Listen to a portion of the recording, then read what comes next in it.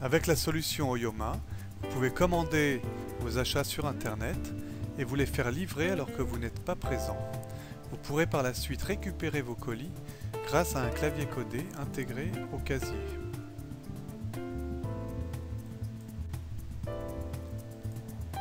Un serveur web intégré dans le casier gère les codes composés sur le clavier, l'ouverture de la porte et l'envoi des notifications.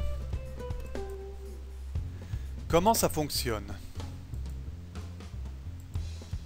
L'application génère un code de livraison à usage unique pour le livreur. À la livraison, un code de réception est envoyé à l'acheteur pour qu'il puisse récupérer son colis.